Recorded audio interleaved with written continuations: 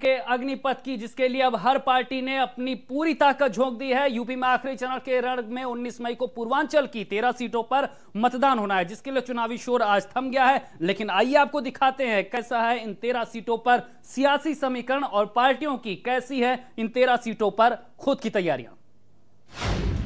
UP की आखिरी जंग, पूर्वांचल की 13 सीटों पर होगा मुकाबला। 19 मई को होगा मतदान। लोकसभा चुनाव सातवें चरण के अपने आखिरी पड़ाव पर पहुँच चुका है। उत्तर प्रदेश के लिहाज से ये चरण इसलिए भी महत्वपूर्ण है क्योंकि इस चरण में प्रधानमंत्री नरेंद्र मोदी के लोकसभा क्षेत्र वाराणसी से लेकर मुख्यमंत्री योगी आदित्यनाथ के गढ़, गोरखपुर तक और साथ ही प्रियंका गांधी जैसे दिग्गजों की साख दांव पर है। सातवें चरण के होने वाले मतदान के लिहाज से इस इलाके में वोट और सीट का समीकरण जानना बेहद दिलचस्प होगा।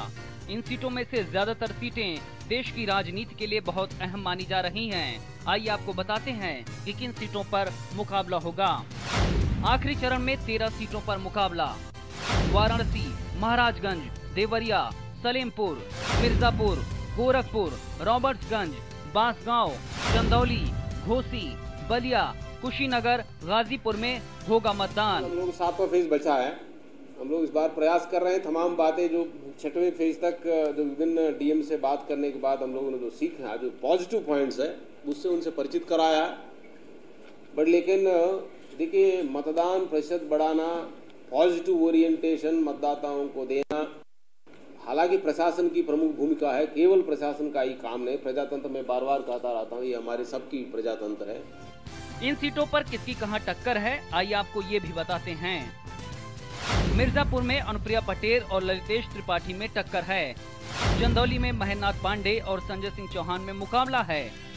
कुशीनगर में आरपीएन सिंह के सामने बीजेपी और गठबंधन की चुनौती है। बलिया में बीजेपी और एसपी के बीच मुकाबला है। घोसी में हर नारायण और अतुल कुमार में टक्कर है। काशी में पीएम मोदी की प्रतिष्ठा दांव पर है। गोरखपुर में भी बीजेपी के सामने गठबंधन की चुनौती है। आखिरी चरण के साथ ही लोकसभा चुनाव का दंगल समाप्त हो जाएगा और नज़रें नतीजों पर टिकेंगी। कि आखिर जनता ने किसे मौका दिया और किसकी उम्मीदें अधूरी रह जाएँगी। ब्यूरो रिपोर्ट, भारत समाचार।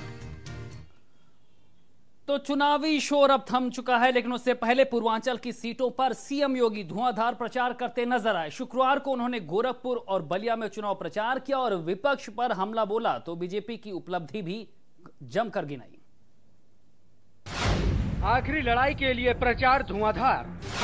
सीएम योगी की गोरखपुर और बलिया में जनसभा।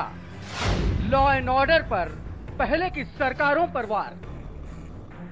पूर्वांचल में आखिरी लड़ाई 19 मई को होनी है, जिसके लिए 17 की शाम को प्रचार का शोर थमने से पहले सीएम योगी ने गोरखपुर और बलिया में बीजेपी प्रत्याशियों के लिए प्रचार किया। गोरखपुर में सीएम योगी ने कहा, विभाजन की राजनीति से कल्याण नहीं होगा। बीजेपी में सबका साथ, सबका विकास है। गठबंधन केवल 23 मई तक है। कानून व्यवस्था पर पहले की सरकारों पर हमला करते हुए उन्होंने कहा कि प्रदेश से गुंडों का पलायन हो चुका है। पश्चिम उत्तर प्रदेश में तो बड़ी खराब स्थिति थी। रोज दंगे, रोज फसाद, कोई पर्व त्योहार नहीं मनाया जा सकता था। बेटियाँ स्कूल नहीं जा पाती थी। और आज स्थिति क्या है? पूरे प्रदेश के अंदर गुंडे और अपराधी दो ही गति हो गई या तो जेल के अंदर है या राम नाम सत्य है की यात्रा निकल चुकी वहीं बलिया में सीएम योगी ने रैली के दौरान मोदी सरकार की उपलब्धियाँ गिनाते हुए फिर से मोदी सरकार के लिए वोट मांगा। योगी ने कहा कि बलिया देश को मज़बूत बनाएगा। कांग्रेस पर हमला बोलते हुए योगी ने कहा कि गरीब के लिए कांग्रेस ने कभी नहीं सोचा। हम सबकी पहली प्राथमिकता विकास होनी चाहिए।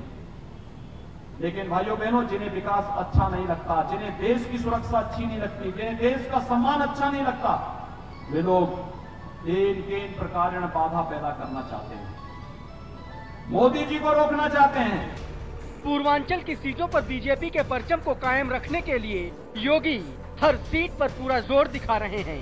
गोरखपुर की सीट उनकी प्रतिष्ठा से जुड़ी है। तो योगी, कहाँ कोई कोर कसर छोड़ने वाले? ब्यूरो रिपोर्ट, भारत समाचार। तो अब लोकसभा का दंगल समाप्ति की ओर है और आखिरी चरण में गठबंधन ने पूरी ताकत दिखाते हुए मिर्जापुर और चंदौली में जनसभा को संबोधित किया और बीजेपी